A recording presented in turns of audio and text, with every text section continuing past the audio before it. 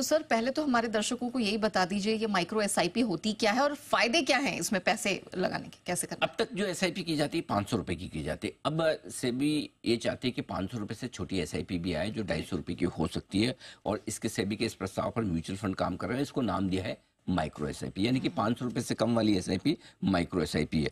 क्यों करना चाहते हैं? उसका सबसे बड़ी चीज़ है कि जिनकी जिन लोगों की कमाई कम है जिन लोगों की सेविंग कम है वो भी एक बार म्यूचुअल फंड में एसआईपी की शुरुआत कर सकते हैं। दूसरा आप छोटा छोटा पैसा बनाकर भी बड़ा कॉर्पस बना सकते हैं और अपना इन्वेस्टमेंट गोल हासिल कर सकते हैं। तीसरा इक्विटी में लोग पैसा इसलिए बनाते हैं कि ये इन्फ्लेशन महँगाई से ज़्यादा कमाई करके देता है लॉन्ग पीरियड में। तो इसलिए महँगाई की सबसे ज़्यादा मार तो लोअर लेवल्स के लोगों पर पड़ती है जिनकी कमाई कम है बचत कम है। तो वो क्यों ना ऐसा इन्वेस्टमेंट करे जिससे उनके महँगाई का जो उनका खतरा है वो कम हो। इसलिए महँगाई को कंट्रोल करने के लिहाज से भी ये बढ़िया है।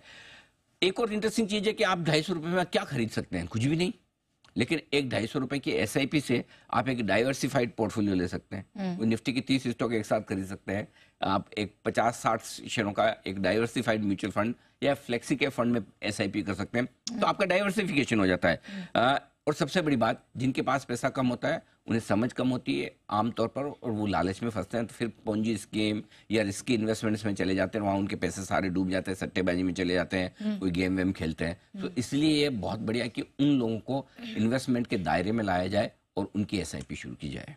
Okay okay. सर ये तो आपने इसके फीचर्स समझा दीजिए।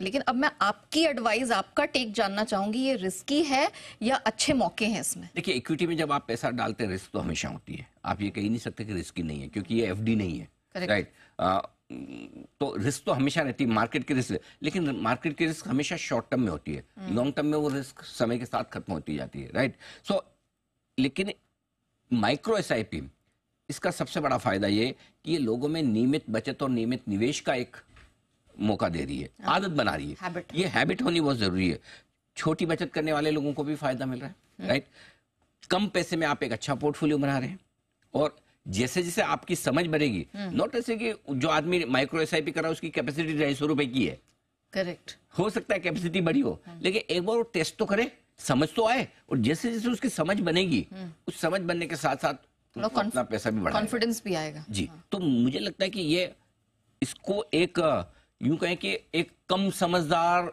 निवेशक को एक रिस्की प्रोडक्ट देने की रिस्क जो है हम्म। वो ना समझे ये समझे कि ये एक निवेश का बढ़िया मौका छोटे इन्वेस्टर्स को भी दिया जा रहा है। ओके okay, चलिए तो बेहतरीन मौके हैं और आप अपना आप कह सकते हैं कि the first step you can take here